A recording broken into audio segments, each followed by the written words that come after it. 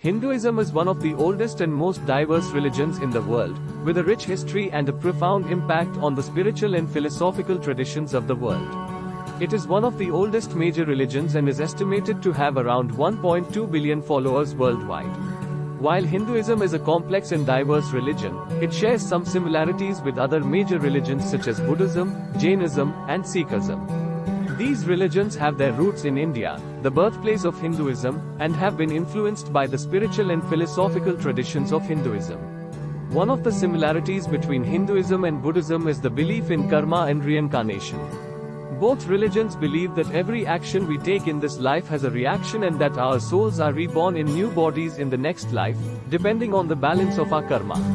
However, Buddhism places a greater emphasis on the elimination of suffering and the attainment of enlightenment, whereas Hinduism has a wider range of beliefs and practices.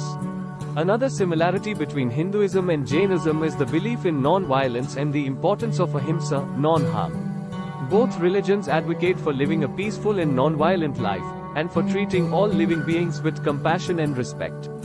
Jainism, however, places a greater emphasis on asceticism and self-control and also has a stronger emphasis on the importance of non-attachment and the rejection of worldly desires.